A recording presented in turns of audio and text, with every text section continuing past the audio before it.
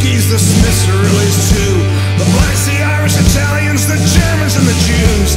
They come across the water a thousand miles from home with nothing in their bellies but the fire down below. They died building the railroads, they worked the bones and skin. They died in the fields and factories, names scattered in the wind. They died to get here a hundred years ago, they're still dying now. The hands that built the country were always trying to keep out.